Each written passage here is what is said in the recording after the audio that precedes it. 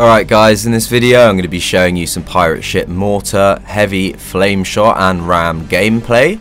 So first of all I'm going to show you the joke sound that your crew makes when you actually enter the deck. This is what the first ram actually looks like. It's pretty good for taking out small ships, although for bigger ships you're not really going to inflict any damage whatsoever.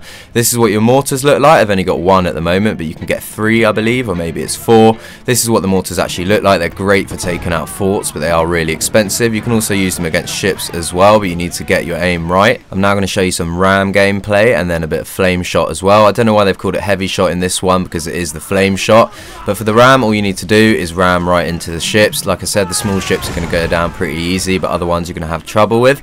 And the flame shot, all you need to do is press R1 when you're near the ship. Don't aim with L1 or that will use your normal round shot. Now I'm going to show you me taking on this hunter here using all three of these weapons. So let me know what you think about all these weapons in the comments section below. And when I've got them fully upgraded, I'll definitely make a video for you.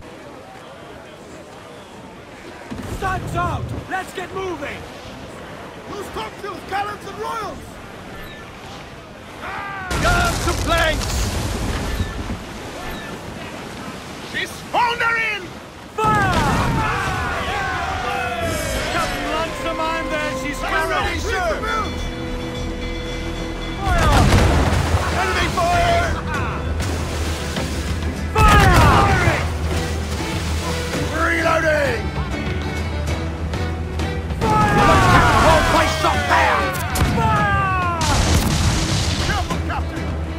Stop time!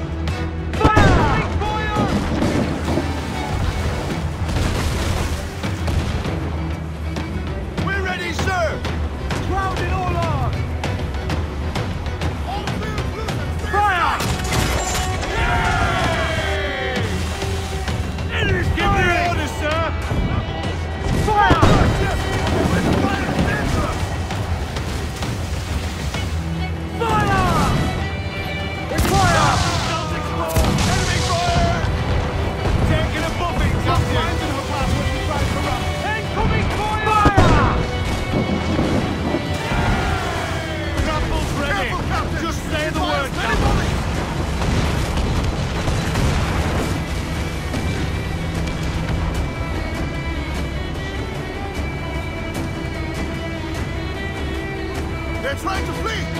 Slow them down with chain shot! We're gonna hit them! Incoming fire! Thanks for watching this video guys, I hope you enjoyed it. If you've got any questions about this game, just let me know in the comments section. Please like and subscribe and I'll see you on the next video.